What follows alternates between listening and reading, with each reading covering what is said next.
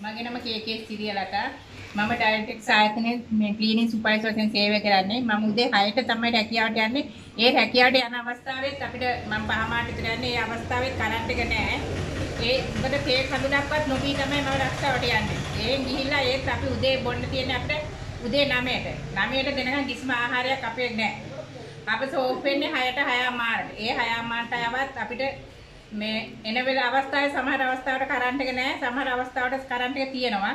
ඒ ආවත් අපිට ගෑස් නැහැ. මොකද ගෑස් ගන්න යන්න තරම් කාලයකුත් අපිට නැහැ.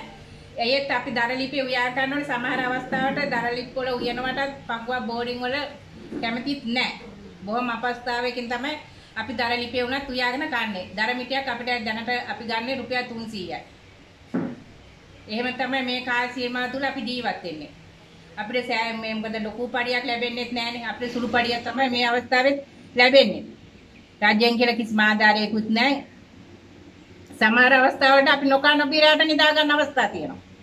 භූමිතෙල් පාවිච්චි කරන්න බෑද? භූමිතෙල් පාවිච්චි කරන්න භූමිතෙල් නැහැනේ. අපිට රැකියාව මේ නිවාඩුවක් දාලා ගියා කියලා අපිට පඩියක් ලැබෙන්නේ නැහැනේ. සමහරට පොලිමේ ඉඳලා රස්සිය අදු වෙලා ඇවිල්ලා භූමිතෙල් නැති අවස්ථාවක් තියෙනවා.